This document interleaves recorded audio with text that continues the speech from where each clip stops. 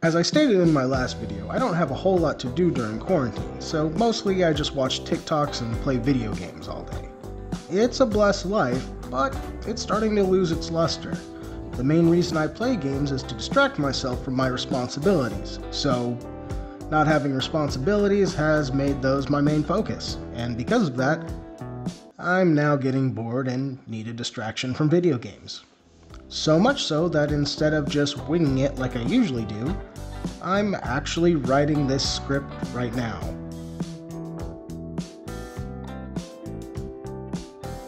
Anywho, that's why I've decided to get back into making videos, because at least I can feel productive. So, what does any of this have to do with Half Life, you might be asking?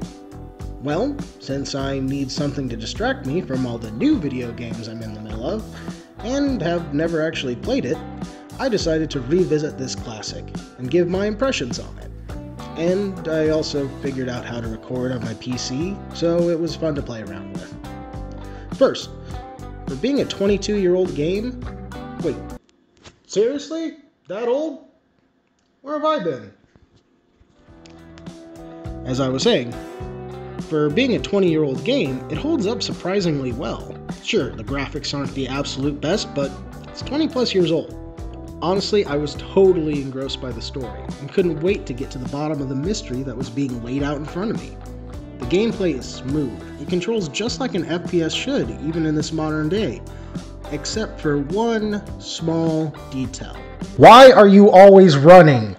Seriously, because the game has damn auto sprint always enabled, I spent a solid 10 minutes of my playthrough on a stupid platforming section and fell over and over and over and over again, plus about five more overs.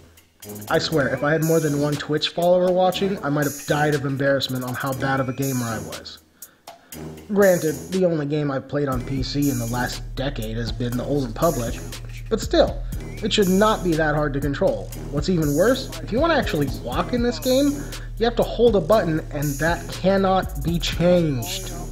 My pinky was so sore after playing for an hour, I had to take a break because my hand was starting to cramp up. But I digress. Overall, I had a fun experience, and anyone who, like me, just let this game fly by, I would recommend going back and playing it. I mean, it's a genre defining classic. Just make sure to do some warm up exercises for your hands. So, in closing, thanks for watching. Uh, stay safe and uh, you can follow me on Instagram and Twitch at uh, Not So Smark.